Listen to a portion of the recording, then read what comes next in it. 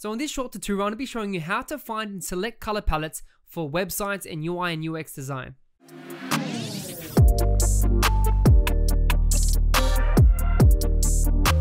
So I'm on a website called Landbook and it pretty much has landing pages, portfolios, blogs, and other page designs that you can use for inspiration. So if I scroll through here, what I can notice is that there's different colors, different layouts, and things like that, right? So what I can actually do is pull some colors from some of these websites, right? So look at this cool website called Quarkly. I can click on this and then what I can do is actually use a screenshot tool, whatever you use, and I can actually grab the colors from this like this and I would pretty much eh, import that into you know Adobe XD or Illustrator, paste it in there and sort of draw colors from there. Before I go into there though, I can look around for different research and you know it's about experimentation and looking around right? I'll do the same for Dribbble.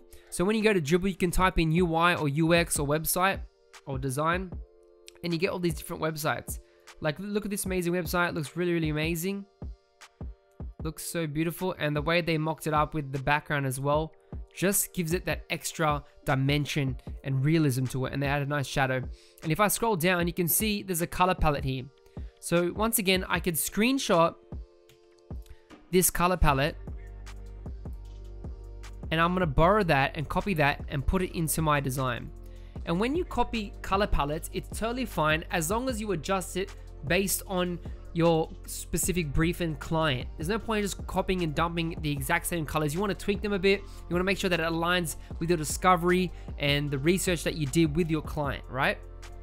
So that's Dribbble. Dribbble has so many different examples, and you know if you're, if you're struggling to find a, a color palette, you can really just you know look through these and get inspiration.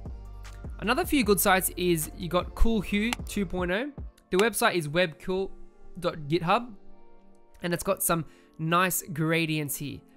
So it gives you the hex codes which you can just copy and paste. You can also download the file there as well. It'll give you a PNG. So I can drop this PNG into Adobe XD like this and it'll literally give me that um, gradient right there. Super easy. So this is a nice site if you want gradients.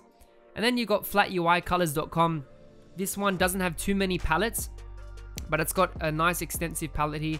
So you can see um, it's got different countries like Russian, Indian, Spanish, Swedish, Turkish, Aussie palette which is cool. They got like little emojis there. And you can like click on the palette and it will show you all these colors. And obviously I wouldn't use all of them but I'll, I'll always try and look for a contrasting color, so a dark shade and a, and a light shade, right? So you can use some of these, I can click on it and it will copy that hex code. I can then go into Adobe XD and paste that hex code in and it should work. So you can see I've got this hex code now. So those are the few sites you can use if you're getting struggling to find some UI colors. And then once again in Adobe XD, you can see here's an example of a recent client that I've been working with you can see I always have one core color, which is like the brand color. It can be something saturated or bright. It doesn't have to be bright, but I try and keep it a cool color. And then you want to have a contrasting dark color. So, you know, your blacks, your grays, something for the background for that contrast. And you don't always have to have um, a dark color in the back. You can have white if you want, but you want to make sure you have that contrast. So then from this, what I can actually do is start to draw some colors from here. So for example, what if I wanted to use this palette here? I'm going to um, extract this color. I'll find the hex code and then I want to make this color known. So then I can go in here and change it. I'm gonna make this, uh, I'll make this white for now. And then um, it made that rectangle. I don't know why I did that, which is cool. I'm gonna grab these green colors as well.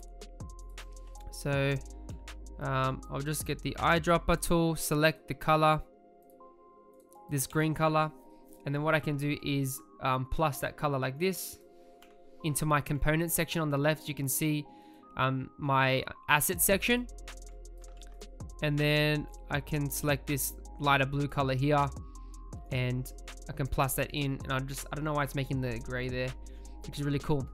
And then what I can do, I can just go in here and change the colors in the text as well. Double click here, select this, and I can press the blue or the green, like whatever I'm feeling. And maybe I want this button to have that gradient with the green and the blue, right? So I'm gonna double, I'm gonna click on the button here, make sure that it's selected this square, because you can see this button is in a group. So I'm gonna select this square, I'm going to the right hand side, I'm gonna click fill, right? Once I do that, you can see in my menu, there's a, there's a menu that says solid color. I wanna click on that and change it to linear gradient. This allows me to select two different colors now. So I'm gonna select this, you can see where this is, you can see I can move that around. I can select the other side, so you can select the left or the right side, and I wanna make that uh, green.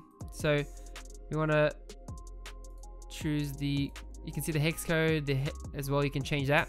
I'm just gonna click the eyedropper and select my color from over here. And then I'm gonna do the same for over here and select that. I'm gonna also go to my button and I can move the gradient as well. So I can put it on an angle or straight if I want. And now you can see my button has that cool color, which is awesome. So you can see just by extracting some colors from a few sides, we can start to, you know, change the game and make it look very interesting. So thanks guys for watching. Hope you guys enjoyed this tutorial. Let me know if you want to see some more UI UX type of tutorials. I've been recently getting more into Adobe XD. It's pretty much like Illustrator, just a little bit different. And I'm looking forward to designing. So thanks so much guys. Hit the subscribe button. Remember to like this video. It really helps me out. I hope to see you in the next tutorial. Take it easy.